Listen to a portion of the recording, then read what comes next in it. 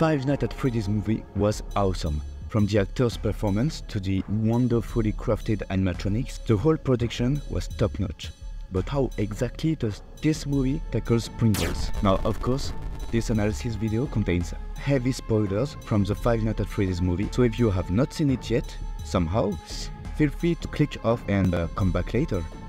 In this video, we will be analyzing the different suits used throughout the movie, how they seem to work, and finally, I will use a 3D model to clearly show you guys how I think it all works.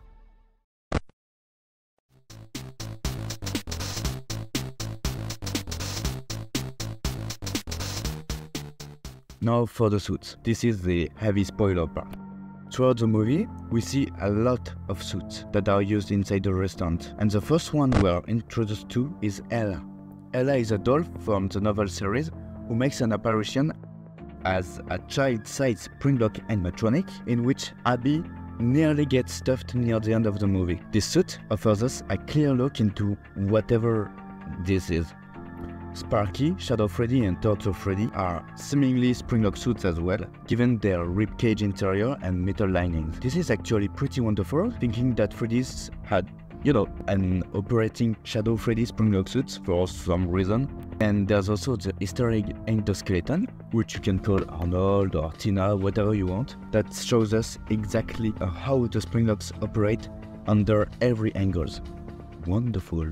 As for the main guy, the Spring Bunny suit, it features an entirely different set of Springlock, which are much smaller and seemingly less sensitive, given he gets shot and the Springlock doesn't activate. The suit seems bulky and very wide, it's logical given the endoskeleton is still inside. Now let's get to the analysis, the best part. Thanks to the multiple shots I gathered, I could figure out how exactly the Springlocks work from this movie. The Ella scene, where they break a perfectly solid and useful broom, shows us three aligning ribcage in a cage-like structure that opens on the side. Like in the games, they are attached to a central pole, but unlike the games, however, they are positioned around the abdomen. They are also bulkier and more heavy-duty. They have a much more mechanical design rather than the organic design of the games.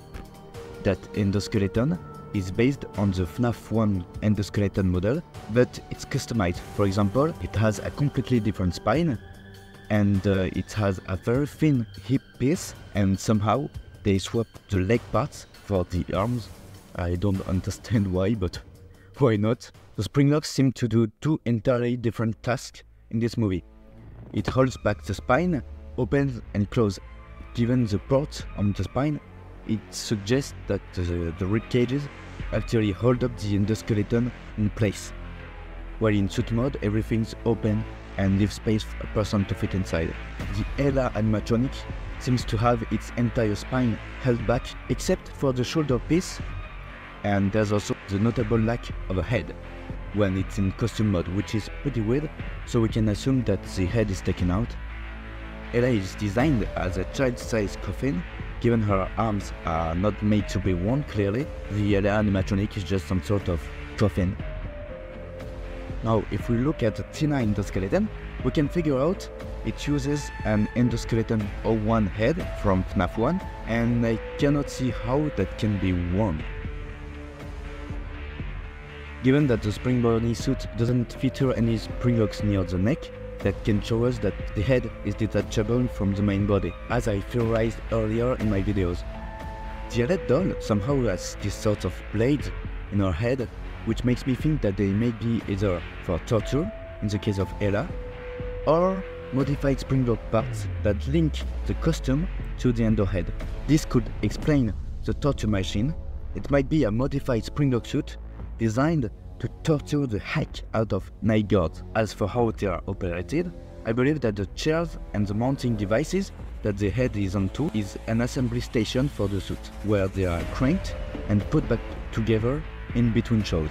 This could explain the utility of the torture device in the movie and why it somehow has a head mostly empty with some sort of mounting device for a wearer's head on each side of its head and why it has a similar eyes mechanism as Spring Bunny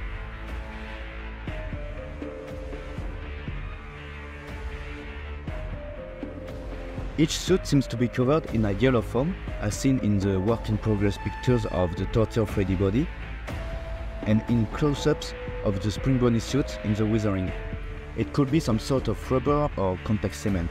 It's the industry standard for foam fabrication, and it's also waterproof, which will be pretty useful in Springlock suits.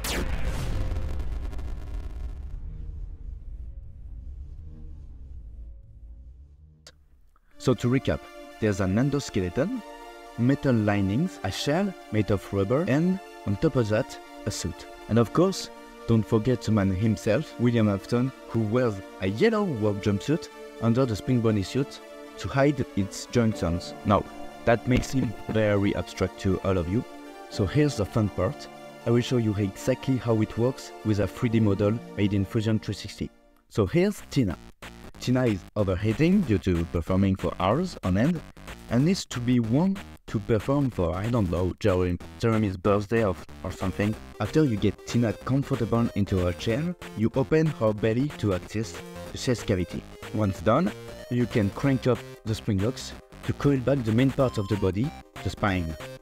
And of course, you open the ribcage and once that is done, you can unplug the head, unplug of the wires and take it out after, of course, you've recalled the head spring locks. I don't know how that would work since the spring locks are turned into saw blades, but I can imagine some sort of rotatory device that locks into um, the pores of the endoskeleton head.